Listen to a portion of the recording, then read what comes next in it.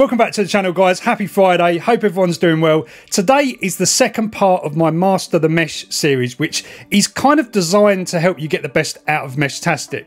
Um, for those of you who don't know, Meshtastic is an off-grid messaging system um, which allows you to send encrypted messages between each other um, without the internet and everything else. There's loads of videos on this. Go check out some of my previous ones. I'll leave some links in the description.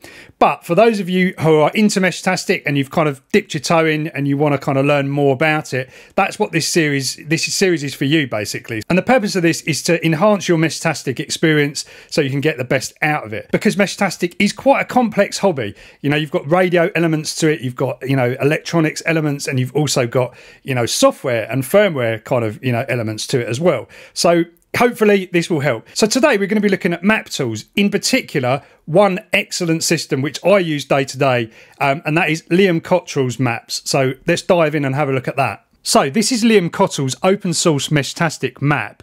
And basically what this does is it takes information from internet connected nodes and puts them on a map. So you can actually sort of see what's going on on the mesh. Now, the beauty of this is it allows you to actually kind of just look at different nodes on a map that are connected um, and see what's going on. So you can use this for like kind of diagnosing problems and, and working out if messages are getting to where they're supposed to be getting.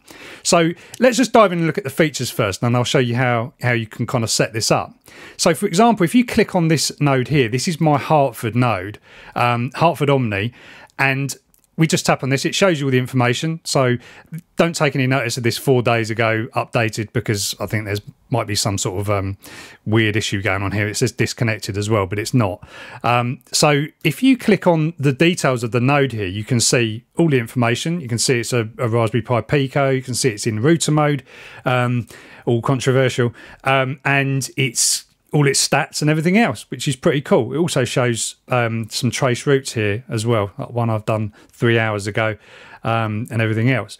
But what's really cool about this is you can actually tap into what my node sees on the mesh. So in real time, information messages coming in. If we click on this gated messages thing here, you'll see a message history, which is kind of cool because you can basically just dive into this and just see what's going on in an area. So you can see here we've got um, a bunch of our local stations. I'll have to vet this first before before I kind of um, put this out to make sure there's nothing dodgy on here. Um, because the conversations are, are, pretty funny actually they go on to like you know early hours of the morning it's just quite quite hilarious um, but you can see here um, you know lots of lots of different stations um, shout out to you boys on the mesh. It's it's been a right laugh lately. So that's pretty cool. Um, now you know why would you want to do this? It's meant to be an off-grid system, and you know we don't really want all this stuff on the internet. Well, okay, look, at the moment we're sort of in the early days of, of kind of working this whole system out. Um, so it's good to have a system where some of the nodes are kind of online and they can sort of send information to a central server that everybody can see and then you can basically just you know work out if your messages are getting out there. So say for example like you were over here with one of these stations just pick this one at random. Um, obviously he's not connected. They they'll show green if they're actually connected to the mqtt um, this server which i'll come on to in a minute. But basically if you were this station and you wanted to find out if you sent a message is it actually getting to to hertford you could find that out quite easily by just going into this panel here, um, clicking on gated messages and see if you know your message has appeared there. So it's a good way of checking, double checking whether your message has arrived at the place you want it to, and then from there you can work out you know why it hasn't. If it hasn't, um, you can do something to your antenna, or, or you can work out if there's some sort of routing issue, or someone's in the wrong mode, or all sorts of stuff. So it's it's handy to be able to sort of see this information. Because of course you're shooting a little bit blind when you send a message out on the public channel or long fast or whatever you're set to. Um, you don't really know that anything's actually received that message um, when you send one out. Yes you can get one tick to show that maybe a node in the area has um, received that message and then potentially forwarded it on um, if it's in client mode uh, but you don't really know where your message has gone. So having a bit of background information um, is actually really good. And it doesn't mean we're going to use this forever. It just means that, you know, when you're trying to troubleshoot your own mesh, uh, it is quite useful to see, you know, be able to diagnose the steps of where um, where things could be going wrong. And that's what we found over here on the Hertford mesh. We've been using this for a while now, and you know, it it's been fantastic to work out, you know, that there might be an interference problem because you can see two nodes. One one gets the message, the other one's you know one kilometer away, but it hasn't received that message. So why not?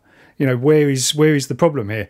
So you can really work out what's going on in your mesh with tools like this. Right, so this show you how you can set this up. The good thing about this is it's not the devil, it's not MQTT. Um, it is MQTT, but it's not like the conventional sort of MQTT because it won't flood your mesh or do anything drastic. It's just an uplink only. So you're only sending data to the server. It's not pinging data back from the server and, and spamming over your mesh all it is doing. It's like it's like it's like the ham radio iGates um, if you're familiar with that. It just literally gates a message um, gates information to the internet so other people can sort of see it on a map. It's really useful in the growth sort of stages i think. So i'll show you how to set it up. So liam's map basically uses its own custom server and you can see this information here.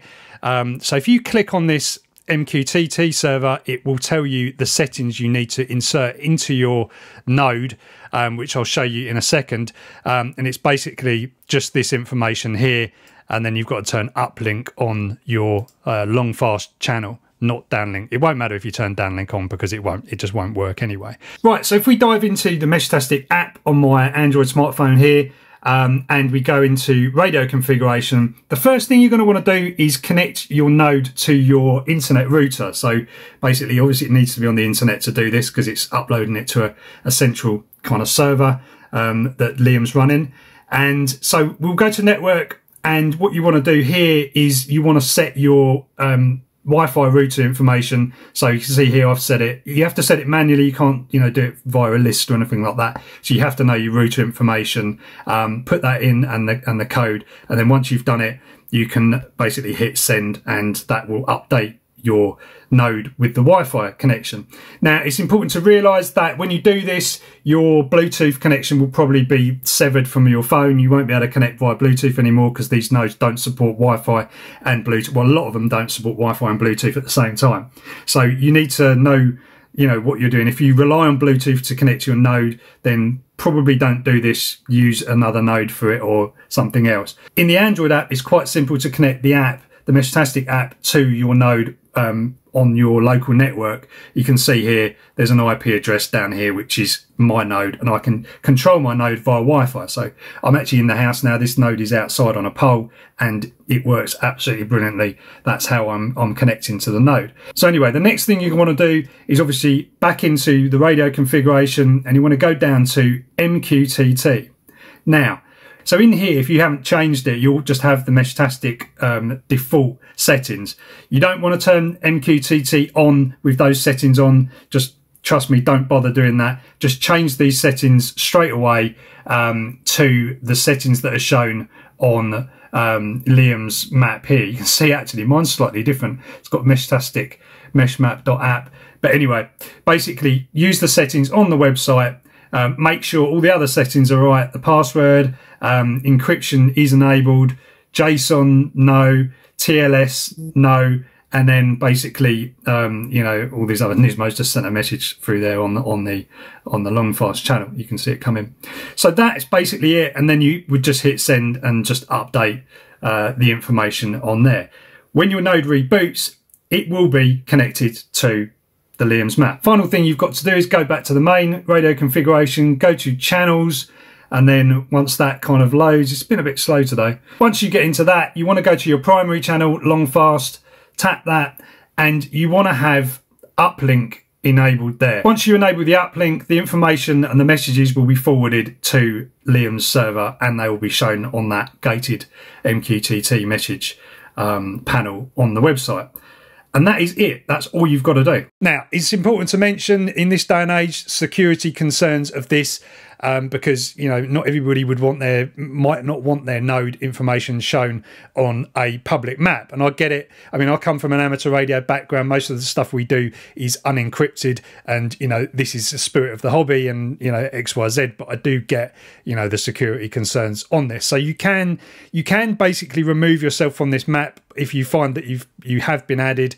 Um, by turning off your location information. And you can, of course, contact Liam and get him to remove you from the map as well. I would suggest maybe using a non accurate position for your location um, if you are concerned about this, because having a position on the map is cool for other users to kind of work out where they're getting to. And it's the kind of the spirit of the hobby, but obviously, maybe just put your node location in a, in a local park or something so you're not disclosing your exact location. So before I go, there is another thing that I use this map for a lot, and that is searching out nodes. So you can just normally type in just what the node's called and it'll bring you up a list of those nodes. But what's also awesome is that you can actually search by the node ID numbers. So when you get an unknown node that pops up in your list, you know, sometimes you might ha not have the name resolved yet. You might have to wait a little while before that comes through. But before that, you can actually type in the ID number or the last few numbers of the ID, and you'll find that you can actually locate that node